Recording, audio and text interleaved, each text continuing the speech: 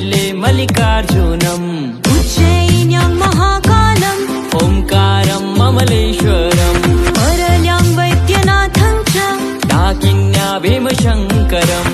सेतुबन्धितु रामेशम् नागेशं दारुकाबले। वाराणस्यां तु विश्वेशम्। त्र्यम्बकं गौतमी तटे। हिमालये तु केदारम्। भीष्मेशं च शिवालये। एतानि सायङ्कात पठे नर सप्त जन्म कृतं पाप स्मरणेन विनश्यति